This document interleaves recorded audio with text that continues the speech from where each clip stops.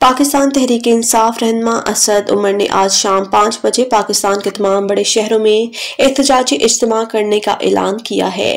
समाजी रबते की वेबसाइट पर जारी बयान में असद उमर ने कहा है कि आज पाँच बजे पाकिस्तान के तमाम शहरों में एहतजाजी इज्तम होंगे।